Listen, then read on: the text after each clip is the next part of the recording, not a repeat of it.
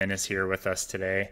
And uh, he and I, for the last few weeks, have kind of been collaborating on a song uh, that tells the story of what happens when our 100% of the time, our society, which expects power all the time, um, uh, doesn't have it, the renewables available. And right now, it's the gas plant turns on, and it's it's pretty predictable um, what's happening and very clear.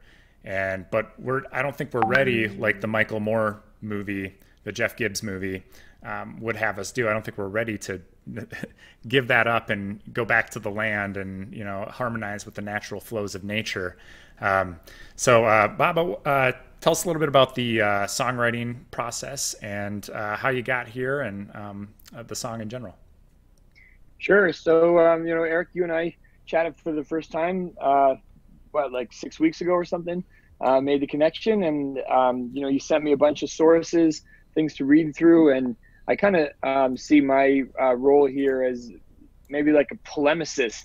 Um, you know, it's trying to take the kind of um, activism that Pramila was talking about, the importance of it, and also the data that Dr. Krejci was talking about, and just creating like one distilled, urgent statement that gives people the facts that they need, but also the import. And you know, there's nothing like a rap song and music and rhythms and hooks and rhymes to uh, to sort of distill key concepts and make them potent.